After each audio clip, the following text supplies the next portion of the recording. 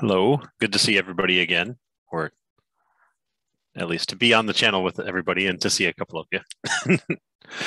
uh, so yeah, today I'm going to talk about chapter seven, which was about exploratory data analysis.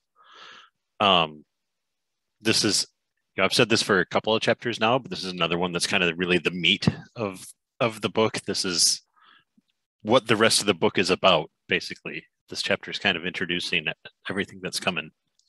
um, all right, and so I put together these learning, or actually, I think my coworker put together these learning objectives.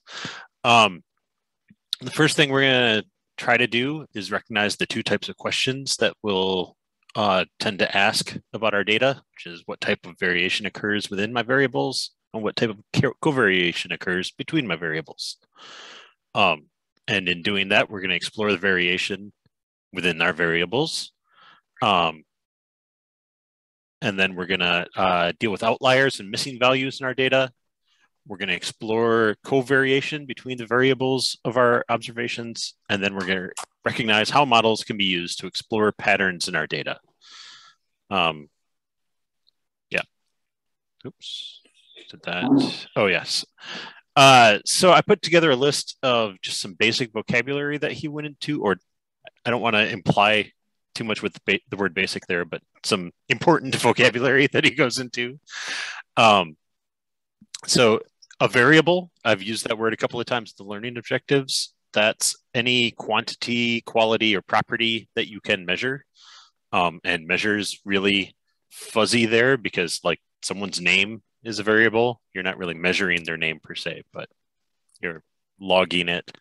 Uh, the value would be the state of a variable when you measure it, and it uh, can change, you know, from, um, you know, well, from observation to observation. So observation is a set of measurements made under similar conditions. Uh, the idea is you have one value for each variable. Um, and then tabular data is observations of variables. And if it's tidy, that means that every observation is one row and every variable is one column. Um, and then each cell within that is one value. Uh, I, I, pointed out here because he doesn't really go into it, but a lot of people, a lot of times people are like, "Hey, is this data tidy?" And it depends on somewhat on what you're trying to answer.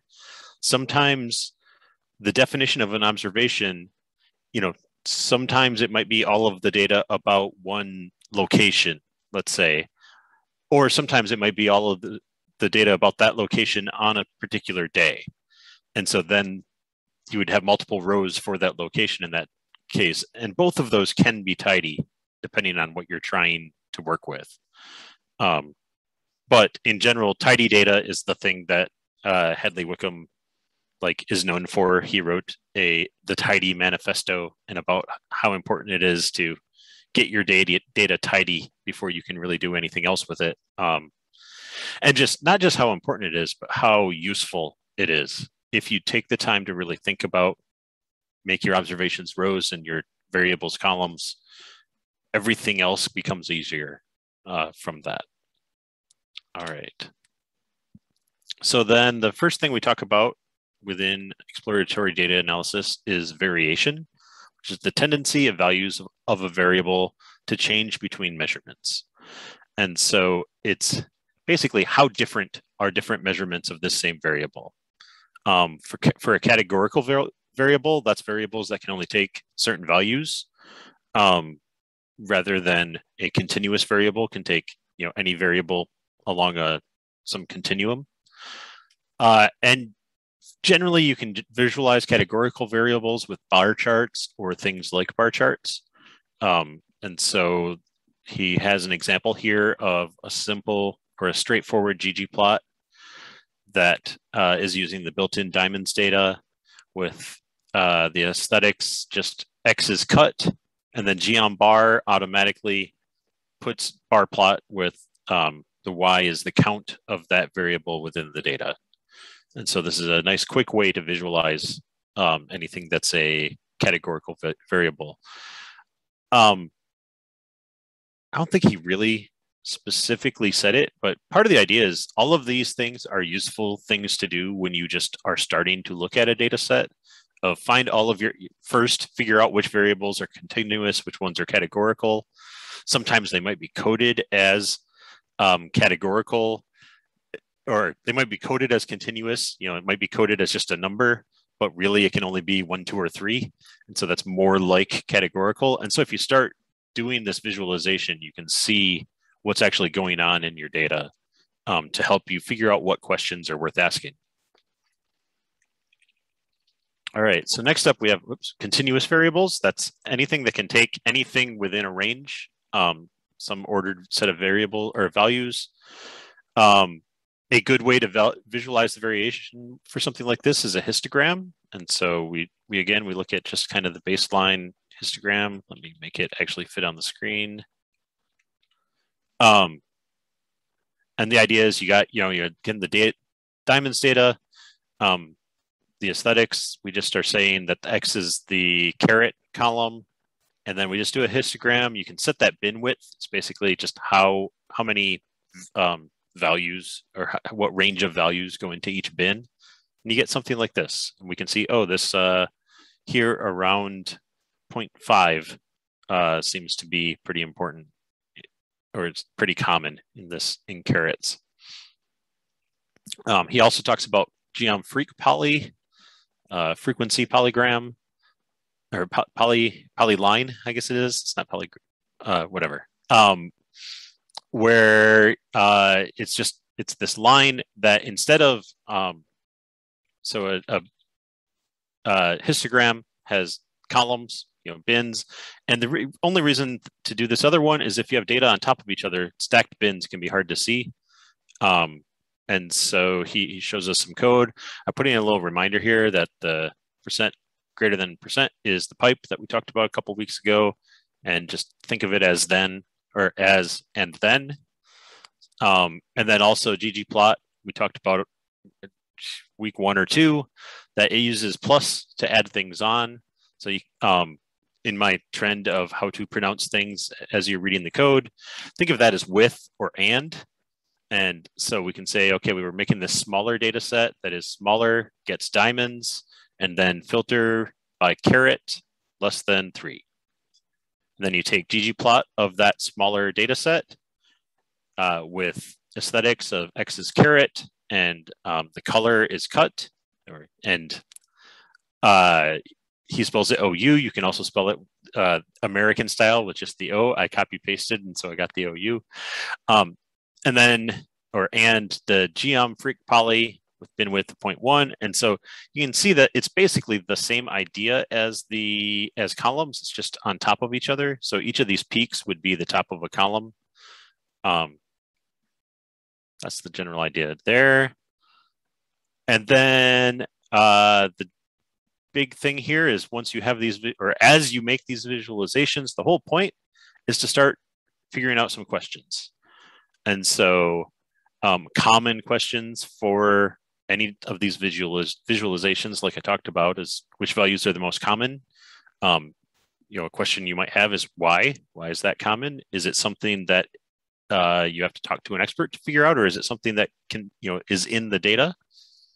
Um, which values are rare can also be important, and why? And um, a good question to ask yourself is, you know, is that surprising? Basically, uh, you know, maybe you thought that carat for whatever reason would be mostly three and above, and there's no three and above. So, uh, I mean, that shouldn't surprise you if you know anything about this data set, but still, who knows? You might not, you might not know what to look for. Um, and can you see any unusual patterns? Uh, something here that we're kind of, well, I don't know. I don't see any really un anything unusual there. There are little blips up and down, but it's pretty straight forward. Oh, and um, if it's only two values, sorry, there is a question in the chat from a while back that I didn't see.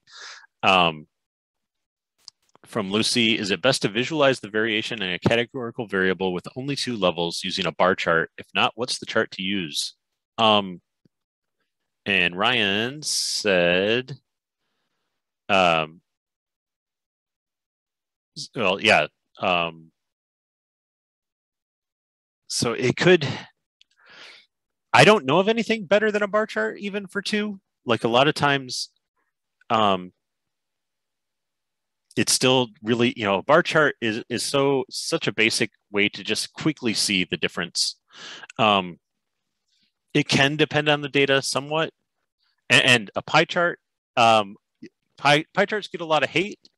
Uh, a pie chart I never really realized until working with ggplot is just a bar chart or a bar chart in polar coordinates. So all you have to do is add plus coord coord underscore polar to a bar chart and it becomes a pie chart. Um, the thing to do with pie charts is always make sure that your pie chart adds up to a total. So don't make a pie chart that is a bunch of like only somewhat related things, but for categorical variables within your data, that can work.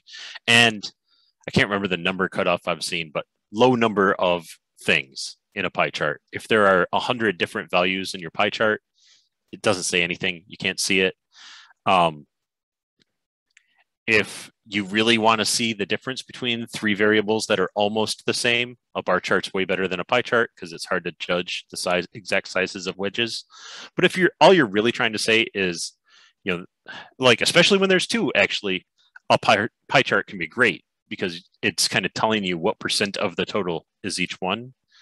Um, and pie chart can actually work pretty well for that. Um, so yeah, that would be my thoughts on categorical. Uh, a box chart, as in like a pie chart where it's um, yeah, a tree map would be another way. Uh, for not for two, but a tree map. Well, technically they can work for two, but tree map is the name where you are breaking it down into like boxes inside of boxes. Um, I find them hard to read, but they can be good. Um, I'm gonna go over to um, uh, in a minute. I'm gonna send or point out a website of a guy who does amazing visualizations for Tidy Tuesday, and he does tutorials, and he's actually active sometimes on R4DS. So, um, I recommend actually the general thing about trying to figure out what works for visualization. I really still always recommend the Tidy Tuesday hashtag on Twitter people make amazing visualizations. Sometimes they make like I've done some that are just kind of cool but not particularly useful. And it can be useful to see that to like really stop and think and ask the questions. Um you know basically is this visualization helping me answer questions and helping me figure out questions to ask? If not try something else. There's all kinds of geoms in uh, ggplot there are other add-ons to ggplot um, and you can try other things and see what helps. For example, like he goes into freq poly in the book, and I don't think I've ever made a one of these. I don't think I've ever used these. I've used density. I've used um, violin plots. I've used box plots, which we're going to talk about later. I don't know that I've ever actually made a freq poly. Um, I would end up just uh, doing stacked histograms a lot, where you you can do um, or or ridge plots is another option that's from ggridges. Um, there are lots of other things out there, and so it's good to kind of explore and see what works for you. Um, all right, so the next thing he does is he shows us um, a a va- value where when he does the histogram, um, you see these kind of peaks and then drops off, peaks and then drops off. And that kind of is making us wonder, you know, what's going on there? Like what what are the groupings? Um, my instinct, uh, anytime I see something like this, would be that those are the round values, and that's what people tend to log, and or maybe your measurement instrument can only do, you know, sometimes it can only do one or 0.5, and then or one 1.25, 1.5, 1.75, that kind of thing. Um, it depends on what data you're looking at, but a lot of times that's why you will get these peaks is just because they're not necessarily really peaks. Like it's not necessarily that they're really more common. It just might be easier to get those values. That's something to look out for. Um, and then sometimes it is that um, there's a reason to round off. And so, you know, like with carats, it's possible that um, like as you're carving a uh, gemstone or a diamond, as you're you're um, shaping it, maybe you try. Oh, I'm going to go a little bit below 1.5, so I don't want to do that. So you stop there and stop taking off facets or whatever. Um, that could be something that's happening here. So anything, anytime you see like peaks and then drop off, something either in the measurement or in the process is probably causing people or causing the values to group around um, those rounded values. Uh, it can be really dangerous. Like I was, I early on when I was doing some data analysis of student data, I thought I had a weird pattern going, and I was like, and then it was like, oh no, these assignments tend to be um, a number of questions such that the values that I'm seeing are the only possible values, and the ones in between are like longer assignments that have you know you can get a 94.7 percent or whatever like the percentages that seemed to have drop offs it was just like that's what's possible to get. And so it was the same kind of thing. Um, and that was like one of my first ones where i was like oh yeah though no there's nothing here. I thought this was something really weird going on and it's just this is what's possible. Um, Oh, and then so another thing you can do that he goes into a bit, and I didn't have time to like copy everything in, but um, he goes through coord Cartesian. Um, there are many ways to zoom in ggplot, but pay attention that coord Cartesian is what he uses, and it's what doesn't break things. So use that. There, you can also just set x and y limits, but when you do, when you just set the limits, um, any data that spans over those limits gets dropped. And so it makes it can make things look weird when you do that. Whereas if you do the coord Cartesian, it's literally just like zooming in on a piece of the chord of the plane. Um, all right. Uh, he, he talks about dropping values. Um, like, I think it's good to note that it, it sometimes it's okay if there's some weird value, like you know, he, he there were values where it's like a hundred times the normal value. Um, depending what you're working with, you might want to just set those to NA, um, but tell people that you did that. Um, and oh, sorry, going back to the what data data to use, uh, data2viz.com is in the chat, and that is a good site for like uh, getting suggestions of data viz. Um, but yeah, so if you drop a value, make sure that whenever you're, you know, pay attention to that. Let people know you did that. Don't try to hide it or whatever. But sometimes, you know, especially if you can explain it, um, or you can kind of explain it like this value is literally impossible. It has to be a mistake. So you take it out of the data, things like that. Um, you know, uh, although also sometimes those can be interesting to look into like why is it a thousand times everything else maybe that is the only data you actually care about. But um, as you're doing other analysis it can be useful to drop that one value that's crazy. Um, and the reason he did this is he showed that there was um, there was one that was like so far of an outlier that it smushes everything else together into one like little point basically and you can't see the variation. You know like imagine if there was one value in this data that was a thousand carats all of the real values would just look like one line in your um, analysis but that thousand carat one is bigger than the hope diamond so probably not real Oops. he had a, a section on missing values and i thought it was interesting because um, he doesn't talk about it much and it actually kind of goes over what he just talked about a little bit that when you have a, um, a weird value you can just drop the whole row or you can replace it with na and he re- recommends replacing it with na that's why r has na because you can um, use it to log things that you don't know.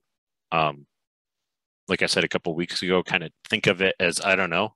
And so whenever you see na um, it's still it's there letting you and future you and future other people know that this is a value that we just don't know what it is. And so he makes this one where um, if y is less than three or greater than 20, he sets it to NA because those are weird values that he wanted to get rid of. But you don't just like drop the row, you just say, I don't know the Y for these ones. Um, ggplot2 gives you a, a warning when you try to plot something that has missing values, and you can suppress that with na.rm equals true in certain, um, depending on the geometry that you're using. Let's see. Uh, and yes, the R graph gallery has some some great visualization examples and uh, the R cookbook. And so the chat for today is going to be full of useful links. And actually, we'll put those into the slides because I have a slide where they would go. All right. Um, so the next thing he talks about is covariation. That's tendency of values of different variables to vary together in some related way. That's a big part of what we're trying to figure out in data is how do things co-vary and you know how does this variable depend on the, this one this other one or maybe several other ones? Um, and when you visualize it it depends on or how you visualize it depends on what's in the pair. And again i wish i had visualizations in here but i didn't have a lot of time to put this together. Uh, but so the first thing he talks about is categorical and continuous. Um, he shows a geom box plot and kind of goes through that. I'm going to talk about that a little, but I want to talk about this. So this Cedric Scherer uh, does ggplot uh, or does Tidy Tuesdays pretty much every week, and he's very good at it. Um, he does really cool visualization. Um, he uh, a year or two ago he was doing the all of these while he was getting his PhD, and then um, got his PhD and now pretty sure he's working full time doing data viz because his he like got really into data viz and is very good at it. He makes really pretty plots. Um, and he has this uh, tutorial about uh, what's called rain cloud plots. You can kind of see why these kind of looks like rain clouds. And it's um, a better way to visualize where you've got these three continuous variables and then you're visualizing the bill ratio of those three variables. And so he's grouping all the data into those three. And for each of the three, you've got, this is called a density plot, the cloud part. And that's just how much of the value is at, or how much of the total distribution is at each of these values. So you can see the peak for this one is up here, um, a little over 2.2. But then below that, he's got the box plot, which is the box with the whiskers here. The thick bar on a box plot is the median value. Um, the right end is like the median of the top half of the data. The left end is the median of the bottom half of the data. And then the whiskers extend out um, one and a half times the difference between the box, basically, or up to one and a half times, depending on how where the data goes. Um,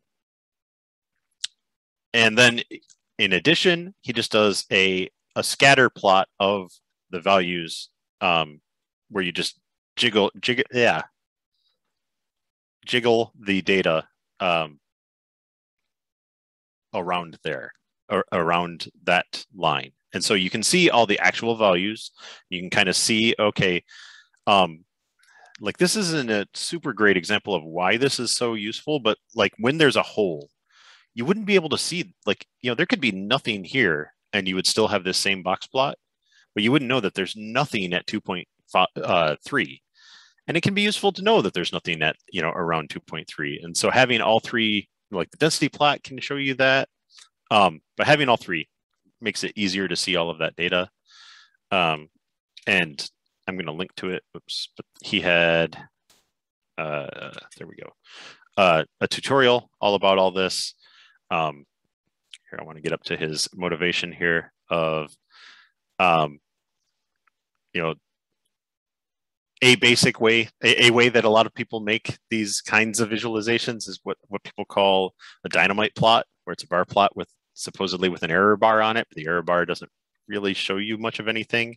And so this is that this same plot, but there's so much more information here. Now you have to know how to read it. Like it's not necessarily any good for it depends who you're showing it to or if you have time to explain to people um, what is happening here. But there if if you know how to read this this tells you so much more than this and you can make it from exactly the same data. Um, okay. And nothing else came up in chat. All right so um, the book only really goes into box plot um, and I, can't remember. I think he did a, a, couple other things, but he just touches on things. And there are many other options. And so I wanted to point to um, Cedric's tutorial because he goes into a lot of those options. Um, so again, I should have like, and we'll hop over to the chapter in a sec, but categorical plus categorical, you can look at just counts. Um, geom count is basically a grid of how many of each pair of things are there. Um actually let's just go to the book. So um so that's a geom count. Um it can be really hard to like you know it's hard to see what the differences are especially in kind of this area. So that's a little a little tough. Something like this can be easier to to spot like okay that's the high and all of these are kind of low and you can kind of see that they they all go together. So a geom tile um, can be useful that way. Um,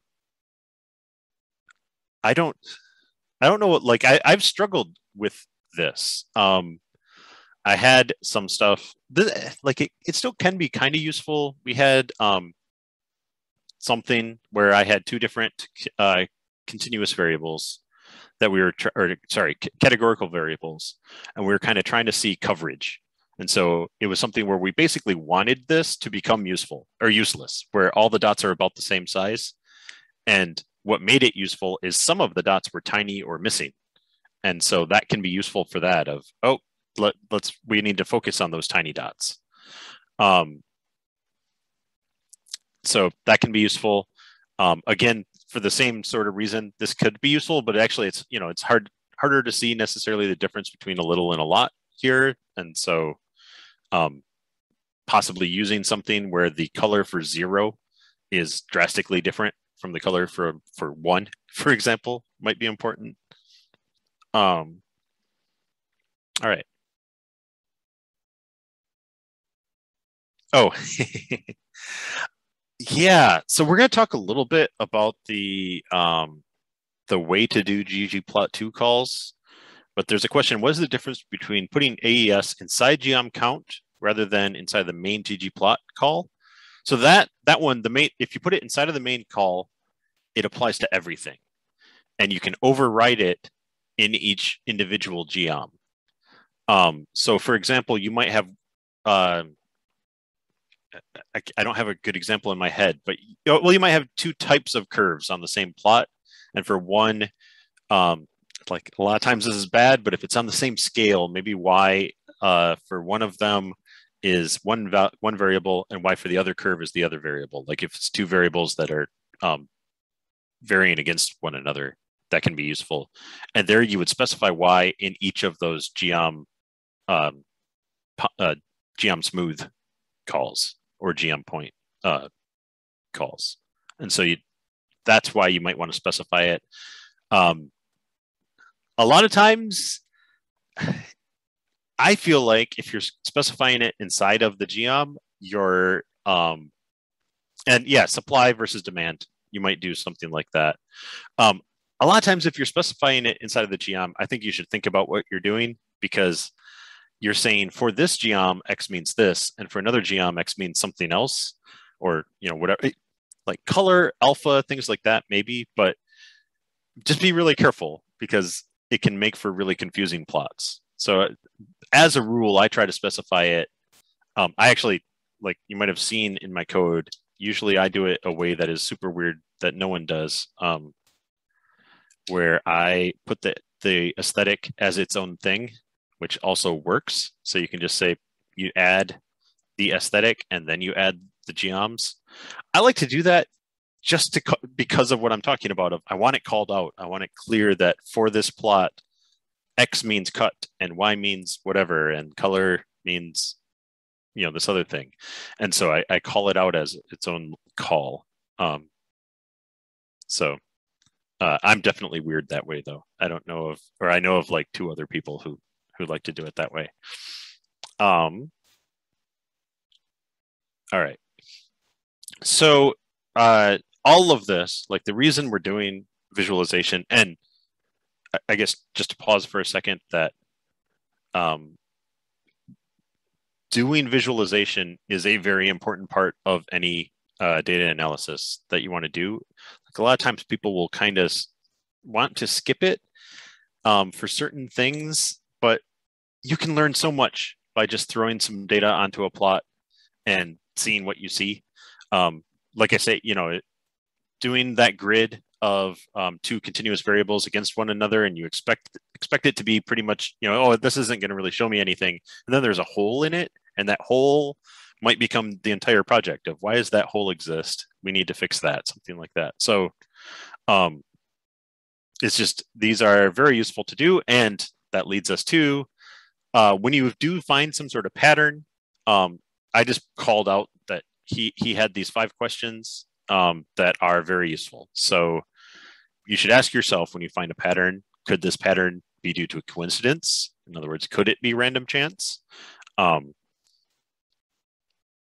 how can you describe the relationship implied by the pattern? So, you know, as X goes up, Y goes up, that kind of thing, or, you know, just trying to put it in really simple terms, um, or the, uh, the price of the diamond uh, is directly related to the number of carats of the diamond, or the di- price of the diamond depends on the cut, or different things like that. Um, a good question to ask yourself is how strong is the relationship implied by the pattern? And obviously, that's something that later you might go into uh, modeling and, and and trying to really determine how important that is. But just looking at it, does it look like it's a it changes a lot? Um, actually, that leads me to a thing that I don't know if we, I guess probably more in the ggplot book we would talk about, but there is a tendency that you will see online a lot of, you know, like let's say we're only looking at these three, you might start the count at 10,000 and that can be really misleading because if you imagine, you know, let, let's say we only had these two and we, our plot went from 10,000 to 15,000, it would look like a much bigger difference than putting any on the whole plot. Um, and especially when you're trying to look at, I don't know, something like this where there's um, the counts kind of mean something, you can trick yourself by setting the y value not to go, or setting either one not to go to zero. So just make sure that you know what you're doing, like do it intentionally if you are changing the scale to not go to zero, uh, because you can you can trick yourself into going, oh wow, like those are so different.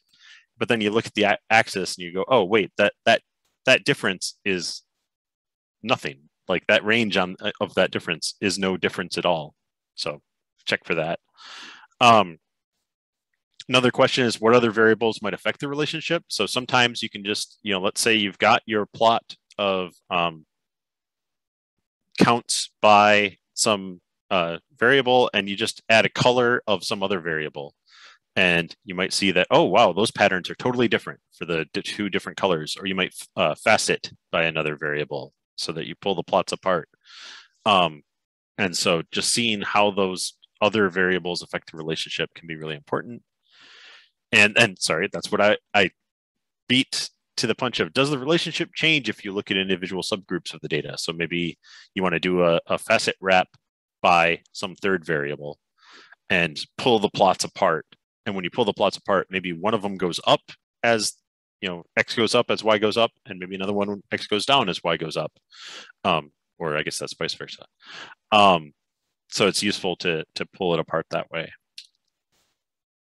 All right. Uh, so the next thing that I go into, or I think that was the next part of the book, is simplified ggplot two. Um, this is the way he has been writing the code and you know pulling out what is the data what is the mapping um, and then adding on the geoms and just going forward in the book he tends to just say data uh, mapping and then the geom and like i said i'll even usually just pull this out into its own line um, oh, yeah Jon's crazy way uh, ggplot of faithful with aesthetics of eruptions and geom freq poly of blah blah blah. Um, I just I like to pull that out, and then also it it uh, it lets the the plus the first plus means with, and the second plus means and. General, I mean, with they can all be with or they can all be and, but when I read them that way, it tends to make sense. All right. Um. Oh, and so I I didn't get anything in here. We can go over to the book about the modeling stuff, but actually they're making a new version of the book where they entirely pull the modeling out and say go read other books about modeling. Um, but I do want to talk about the modeling stuff. Uh, this slide I put in here so that I had a place to put all the things we're going to talk about or that we are talking about over in the chat. We'll throw those in here. Um, oh, and thank you, Susie, that you're you're with me on the crazy AES. Uh, um, all right, and so factors for uh, colors. So um, yeah, I don't know if we so so a lot of times um, basically when you when you have um, a group of or a set of values and you want to color by that value, um, I think ggplot actually yells at you or it just works weird uh, looks weird. I can't remember which it is. If you don't specify that that variable is a factor, and the reason, so if you think about it, factor means this value, this variable can only have certain values, and otherwise a character variable could have any value. And so let's say, like, let's say you were trying to color by the person's full name, then everyone would have their own color, it's effectively a continuous variable. Like it's it's kind of a categorical variable, but each category is size one. Um, and so that's why, um, in general, like I, I, again, I think ggplot does yell at you if you try to use just a character variable um, for color or for fill, uh, because of that. It's making you make the decision of, wait, is this actually individual values. And so then when you, then actually, I guess I can go look at these where we did it. Um, uh, it was in here that it doesn't actually yell at it. So um, cut, I don't think cut in diamonds is a factor. Let me see. Um,